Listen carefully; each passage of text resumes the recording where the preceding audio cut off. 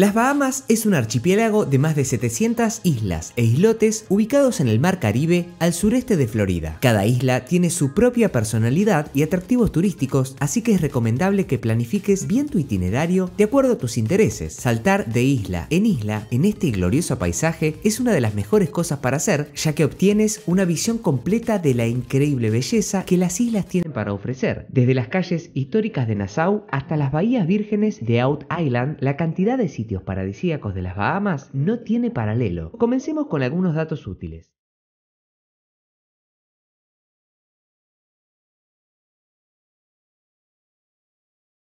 ¿Cuál es la mejor época para viajar a Bahamas? La mejor época para viajar a las Bahamas por tu cuenta es cuando haga frío en tu casa, así te ahorras la calefacción, porque las Bahamas están en el Caribe y hace buen clima todo el año, aunque los meses que van de junio a octubre tendrás más posibilidades de encontrar lluvia y huracanes. La temporada alta va de diciembre a mitad de abril y en esta época tienen una media de 24 grados centígrados. ¿Se requiere visa para visitar las Bahamas? No se requiere visa para aquellos ciudadanos que no se queden más de 90 días. Los únicos requisitos son contar con pasaporte vigente, tener pasaje de ida y vuelta, tener la confirmación de reserva del hotel y poseer la vacuna de fiebre amarilla y la de malaria. Sin embargo, si vas a visitar las Bahamas a través de los cruceros que en su mayoría salen desde Miami, recuerda que debes contar con la visa americana para poder ingresar a Estados Unidos. Ahora bien, conozcamos cuáles son las mejores cosas para hacer en las Bahamas. Visitar Nassau, la capital una ciudad que cuenta con calles arboladas por cientos de especies tropicales donde verán pasear carruajes a caballos, policías con chaquetas blancas y coloridos cascos de la época colonial, playas de suave arena donde descansar al fresco de la brisa oceánica, visitar sus vestigios históricos, ir a sus mercados o realizar alguna de las actividades acuáticas son solo algunas de las múltiples opciones disponibles para quienes llegan a la ciudad, ya sea en una escala de crucero o por más días. En este lugar se concentra alrededor del 70% de la población de todo el país y es uno de los puntos principales de los turistas que la visitan año tras año, dado que allí se encuentra uno de los hoteles más conocidos del mundo, el complejo turístico Atlantis Resort, un maravilloso hotel ubicado en la isla de Paradise en Bahamas. Este lugar es famoso mundialmente por su impresionante estructura en la cual encontraremos más de 2.300 habitaciones y suites, así como increíbles instalaciones y atracciones. Entre ellos, su parque acuático de casi 60 hectáreas donde los visitantes pueden disfrutar de toboganes de agua, ríos lentos y rápidos, piscinas y playas de arena blanca. Atlantis Paradise Island también cuenta con un casino diseñado para imitar la arquitectura de la ciudad perdida de Atlantis. El complejo también ofrece una amplia variedad de restaurantes, bares y tiendas, así como un spa de clase mundial y una marina de 40 hectáreas. En Nassau también puedes disfrutar del Government House, este colonial edificio situado en la calle Duke, que es la residencia oficial del gobernador general de las Bahamas desde 1801. La mansión de color rosa intenso es un excelente ejemplo de la arquitectura colonial bahamenia británica. En mitad de su alta escalinata, una estatua de Colón, descubridor de las islas, nos recibe en la entrada. También puedes hacer una visita a las escaleras de la reina, conocida por los locales como los 66 escalones. Se encuentra situado en el complejo histórico de Fort Fincastle. Fue esculpida en roca caliza sólida por esclavos entre 1793 y 1794. En la ciudad de Nassau se han construido diferentes fortalezas para su protección, tanto de piratas como invasores. Uno de los más grandes es el Fuerte Charlotte, que fue construido por el gobernador Lord Dunmore en 1788. Allí hay 42 cañones montados en el nivel superior y murallas. Una de las joyas indiscutibles en la línea de casas patrimoniales que forman el mosaico histórico del centro de Nassau es la muy querida destilería John Watling. Los recorridos del sitio llevan a los viajeros a través de los cuidados jardines y los lechos de palmeras junto a las salas de elaboración de cerveza donde los lugareños de las Bahamas han estado cocinando el espíritu icónico con caña de azúcar y agua de fuego utilizando barriles y pilas de cáscara de coco crujiente durante siglos. Dentro de las Bahamas hay una serie de islas que muestran una belleza natural e intacta a diferencia de otros lugares del mundo. Hay 700 islas en Out Island que representan colectivamente el 84% de la masa terrestre de las Bahamas. Cada una de las islas tiene una personalidad única con un tema inconfundible en común, hermosos paisajes. Muchas personas saltan a las islas en las Bahamas en barco o ferry y si bien esto puede parecer una experiencia maravillosa, no hay como ver las islas desde arriba. Las vistas ilimitadas del océano brillante y las islas gemelas durante un recorrido aéreo no tienen comparación. Los astronautas han descrito a las Bahamas como el lugar más hermoso de la Tierra visto desde el espacio, y observarlas desde un avión te ayudará a entender por qué.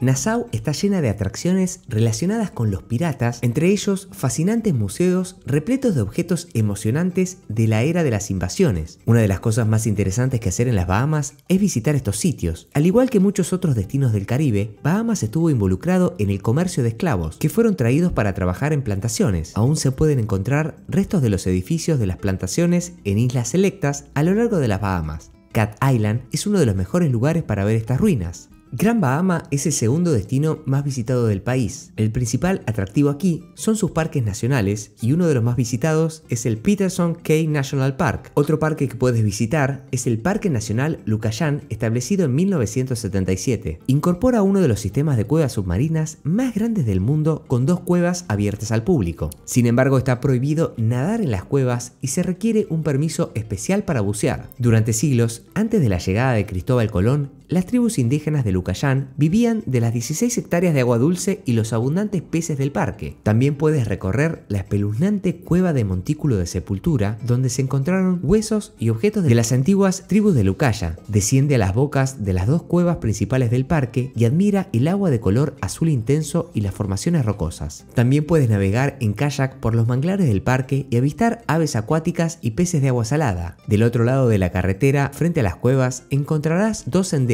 bien delimitados que forman un circuito alrededor del parque. Siguiendo los mismos te encontrarás con la pintoresca Gold Rock Beach, una recóndita franja de arena con un colorido sistema de arrecifes alejado de la costa. En la playa habitan curiosos mapaches e interesantes aves y es un agradable lugar para relajarte de las multitudes. En la lista de imperdibles se encuentra la isla de Andros, que alberga la tercera barrera de coral más grande del mundo. Se trata de un conjunto de islas conectadas por manglares que enamoran a los más aventureros. Aquí escasean las construcciones y quien se lleva el protagonismo es la naturaleza. El agujero más llamativo y profundo es el Guardian Blue Hole, al cual puedes descender hasta aproximadamente 139 metros. Otro sitio favorito de Leopold es The Labyrinth, un laberinto de pasadizos que se partean a través de arrecife. Aquí encontrarás tiburones, tortugas y rayas.